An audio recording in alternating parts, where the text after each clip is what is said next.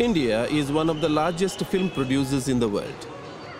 Indian films have their own flavor of song and dance, for which it is well known world over.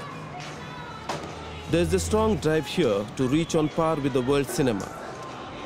There are a few international film schools in India which are highly reputed for quality cinema education and its infrastructure. Students here watch a lot of world cinema and dream of being a part of it.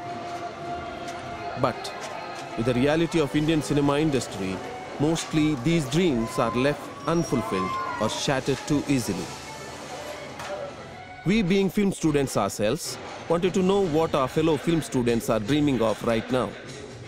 We wanted to know what their plans are. what, are, what are your plans? what, what are your plans? No plans. I always wanted to make documentary films, and that is what I'm going to do. I don't find any place in Bollywood right now for me.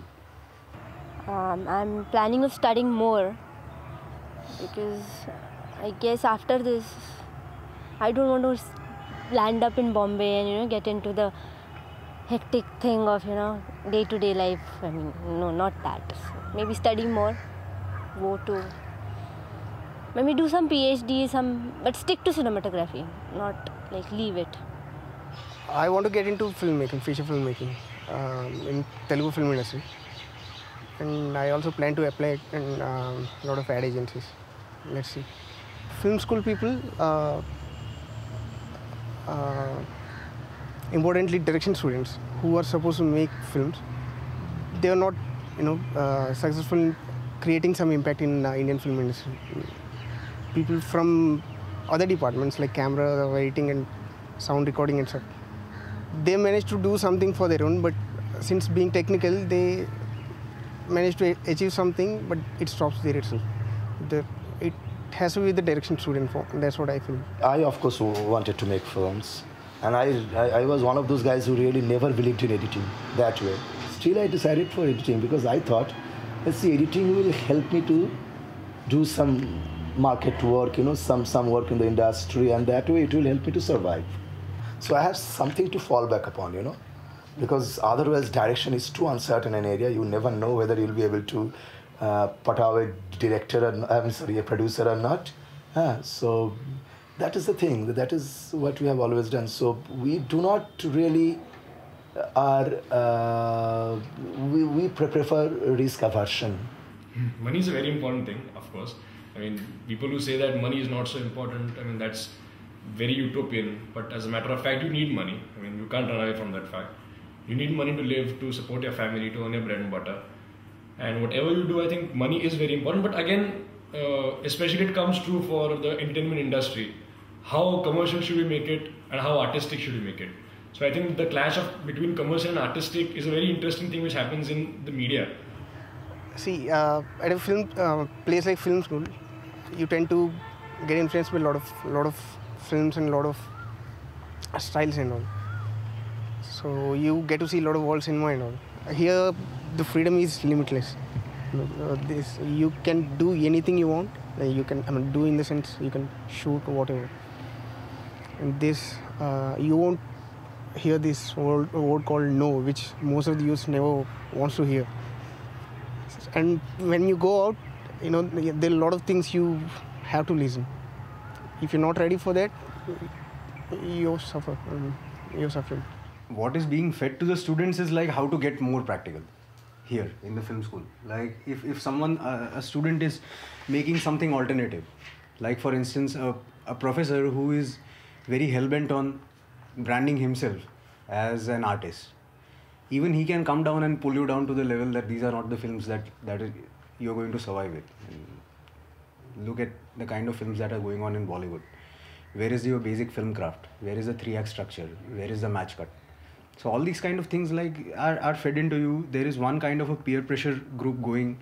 So you end up performing for that in your because as filmmakers face it or like you are, you are performers. So you, when you say that i'm going to make a bollywood film you are catering to an audience. When you are going to make film school projects you are going to cater to your audience here so you end up making one kind of projects which which end up as is a very film school project you know.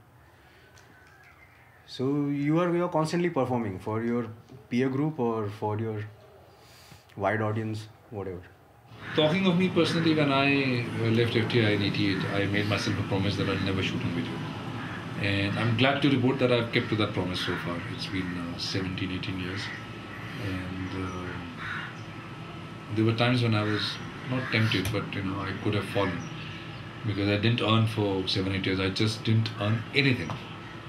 And this is before my acting career started, so there was really no work, no money. But uh, I don't know if it was the romance of celluloid or what, but I thought uh,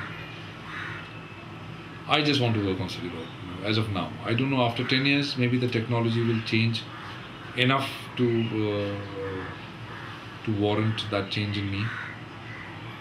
Uh, maybe there will be a film which can be done better on a digital medium. But if it can't, then I'll stick to celluloid because I think, if nothing else, shooting a film brings in a brings in a rigor, you know, that is completely absent in this movie. There is no rigor. You, know. you shoot this, you shoot that, you shoot this. Uh, and I've acted in some of these things, you know, so I know. Uh, we just shoot, shoot, shoot, shoot, shoot, shoot, you know, and, anything okay, we'll make something out, out of this in the editing. Uh, film is not that kind of medium.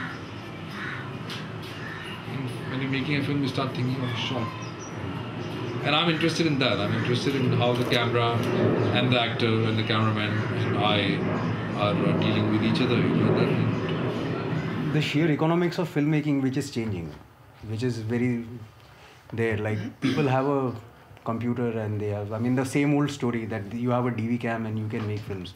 You have access of production. You have access of the things with which you can produce. But do you have access over distribution? and unless distribution happens unless you kind of uh, have uh, at least if not in monetary sense at least if you don't have a feedback as to what you are working on how else do you i mean how do you go ahead i mean do you really keep on making films for yourself uh, which is uh, not not possible after a point.